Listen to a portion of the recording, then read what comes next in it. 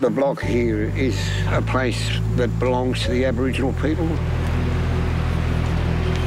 The people that are occupying that land should have the rights to live on that land and to be helped.